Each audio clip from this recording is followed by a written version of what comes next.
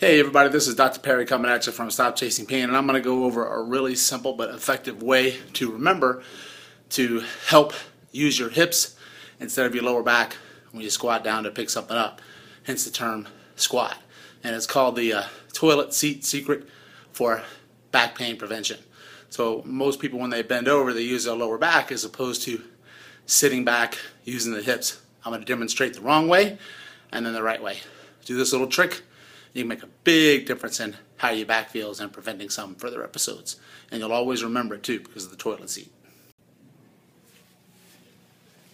Okay, so if I've got a box down here on the ground or something that I want to pick up that's heavy, um, most people, when you say, hey, you know, let's bend over and pick up, move that box, they bend from here like this, at this, coming over and picking it up like that. So all the stress goes here.